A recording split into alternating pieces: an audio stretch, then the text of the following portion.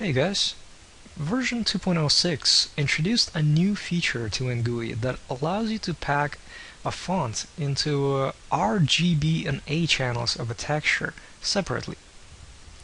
What this essentially means is that uh, you can have the same amount of content in a texture that is only a quarter of the size.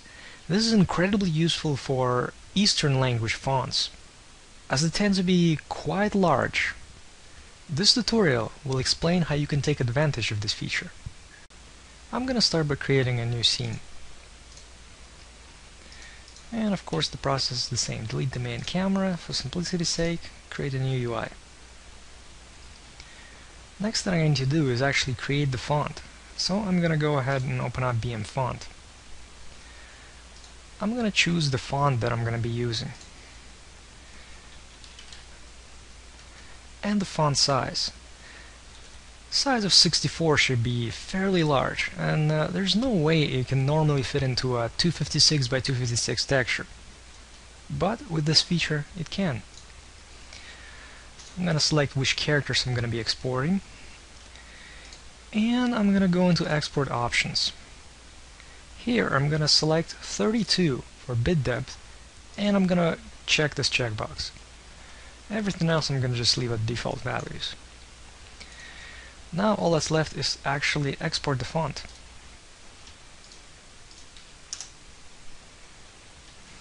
I'm just gonna call it Remo64 and save it.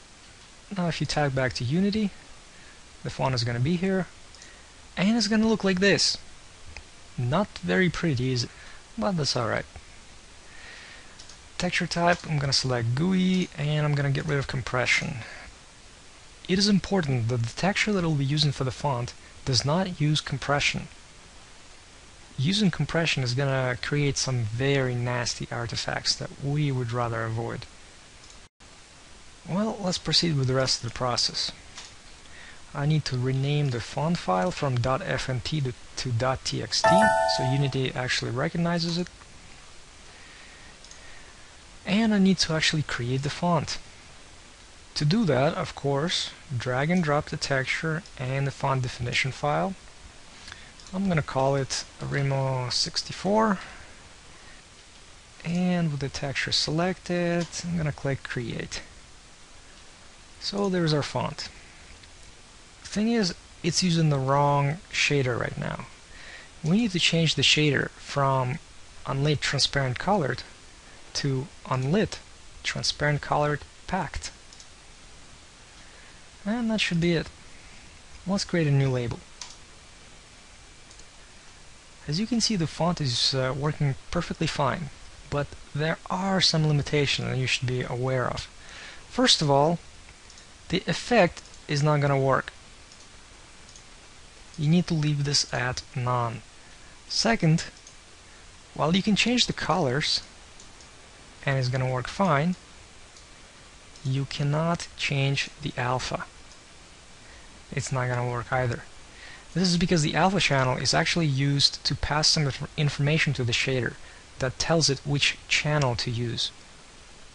And there is one more limitation that is probably the most important you cannot put this uh, font into an atlas. This is because it requires a special shader. Fortunately, in most cases, you would not be using an atlas anyways, because in Eastern language fonts, the font itself is just too large to fit anything else in there. But on the bright side, if you are okay with these limitations, then you're gonna have a lot more space to work with in terms of texture memory. Well, thanks for watching.